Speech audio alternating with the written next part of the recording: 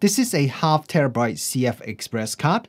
The manufacturer said it supports 8K RAW video recording, and the price of it is also quite a bit cheaper than the other competitors in the market. So, is it too good to be true? Let's find out in this video.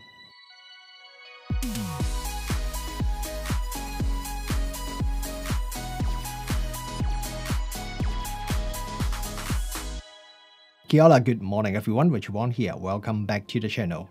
Pergear has recently released two different CF Express Type B card. They have released a 256GB one and also a 512GB one. So they have sent me a sample of their 512GB CF Express Type B card and I have been using it over the last two weeks or so. So in this video, I'm going to share with you my thoughts and also some of my results when using this card. Pergear has also sent me their new CF Express card reader. I will talk about this card reader a little bit later on in this video as well. And if you're interested in either the card or the card reader, I put the link to both of these products in the video description below. First thing I want to mention is the Pergear CF Express card comes in a pretty nice wooden case. This one, I was a bit surprised when I received the parcel. The read speed printed on the label is 1600 megabyte per second and the write speed is 1200 megabyte per second. So this is quite similar to most other CF Express card that is currently available in the market. But one thing is the speed written here is just the maximum speed. The continuous read or write speed is usually quite a bit lower than this maximum speed that is printed on the label. The build quality of the card seems to be pretty good it using some high quality plastic at the front here and it has a metal casing at the back which help it to cool down the card. According to Pergear, the card has protection against shock, magnetic, and also temperature extremes and even X-ray. And one pretty good thing is they do provide a 5-year warranty, which is better than most other cards in the market.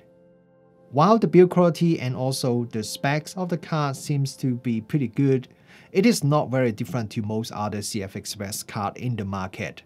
What is special about this Pergear card is the price.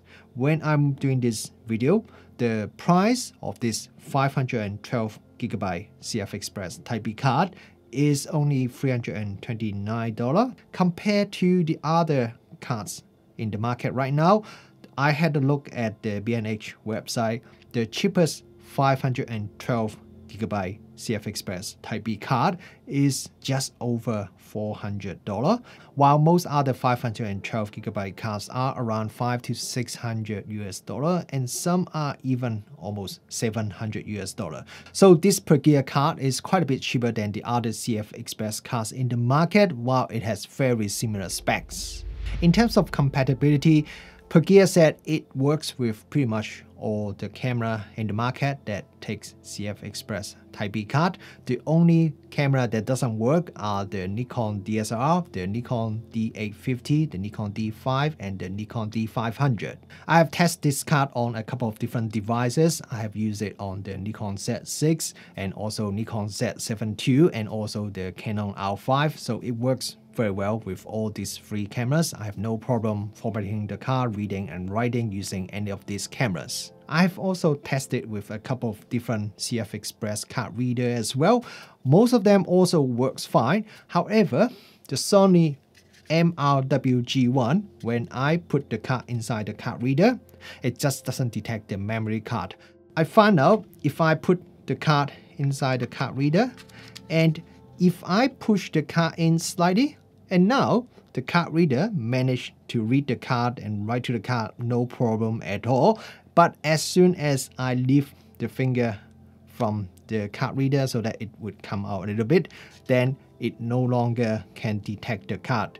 I've reported this issue back to Pergear. They told me it's because the sample they sent me is a prototype pre-production sample, so they will make sure this issue is fixed in the final retail version. I've done a bit of testing using a Nikon Z7 II, so I set the camera to record in 14-bit RAW, compressed 14-bit RAW, and first I tested with my Sony XQD card, this one, and with the camera in this setting and also the burst speed set to the highest. The camera can write 49 raw files before it start to slow down and then I swap to the PerGear card and this time the camera can write 59 raw files before it start to slow down. So that means compared to my Sony XQD card, the PerGear CF Express card allow me to have approximately 16% bigger buffer. And I've also checked how long does it take for the camera to clear the whole buffer back onto the card. With the Sony XQD card, it takes around 8.1 second for it to completely clear the buffer back to the card. And with the PerGear card, it takes around 6.1 second. So that means writing to the PerGear card is about 25% faster than the Sony XQD card on this Nikon Z7 II. So next I did a bit of video filming test to see the performance of the card when it has to continuously writing to the card over an extended period of time. The first test I did is to shoot some normal 4K video using the Z7 II.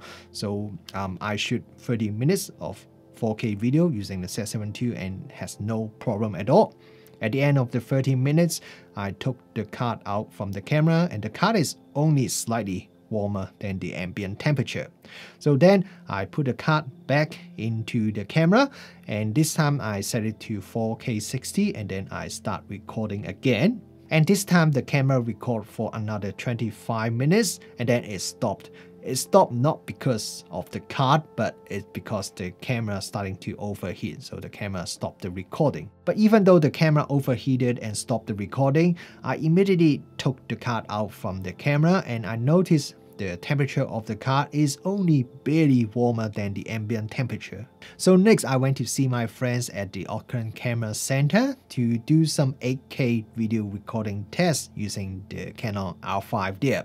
So the first test I did is shoot in the 8K ALL-I format. I did a 15 minutes 8K ALL-I recording using the R5 and when I stopped I noticed the body of the R5 actually feels quite warm and when I took the card out from the camera, the card also feel quite warm, uh, quite a bit warmer than previously when I was recording using the Z7, but it's not hot enough that I would have concern about the camera body or the memory card itself. So after I finished that test, I let the camera to cool down for about 15 minutes and then I switched to record in 8K RAW format. And this time the camera managed to record for 18 minutes and then it stopped. And it stopped because the R5 just overheated. So it stopped recording but it does show that the card is definitely fast enough to handle the 8K RAW video output from the Canon R5. Apart from the capacity and also the read-write speed, one thing that is very important for any memory card is its reliability. Unfortunately, this is something that I can't really tell you right now because so far I've only got this card for a little bit over two weeks.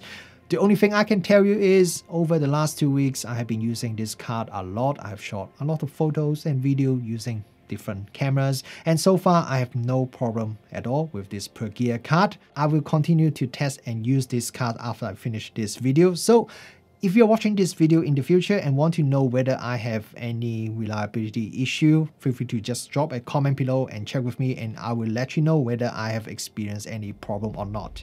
As I mentioned at the beginning, PerGear has also sent me their new CF Express card reader.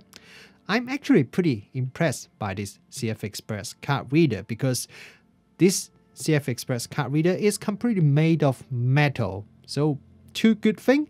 One thing is the build quality is very good. Put it side by side next to the Sony CF Express card reader. The PerGear one feel a lot more solid and also a lot more premium compared to the Sony one which is made of plastic. The second good thing is, if you have used CF Express card, you will know that sometimes the card can get pretty hot. So having a metal card reader can definitely help cool down the card and the card reader a lot better, especially when you are reading or writing a large amount of data. In terms of the read-write speed, I also did a bit of comparison with the SanDisk CF Express card reader, and I found that in terms of write speed, write to the card, it is pretty much identical to the SanDisk when I try to write 200 GB of data onto the card. In terms of read speed, this Pergear CF Express card reader is actually around 20 to 25% faster than the SanDisk CF Express card reader. So overall, this Pergear CF Express card seems to be a pretty good option for people who want to have a large memory card but at affordable price. When I test with the Canon R5, it shows it definitely can handle the high speed requirement for 8K RAW video recording. As this is the first CF Express card from Pergear, I guess reliability would be my concern. I have concern not because I had any issue with the card, but it's just because it's something I couldn't really test during this review. But if you are shooting with a dual card slot camera and just need a backup card or reliability is not really your highest priority or concern, then this Pergear CF Express card is definitely an excellent value for money choice for those of you who want large storage. And as I said earlier, I will continue using this card after I finish this review, so feel free to drop me a message and see whether I have any issues after using this card over a longer period of time.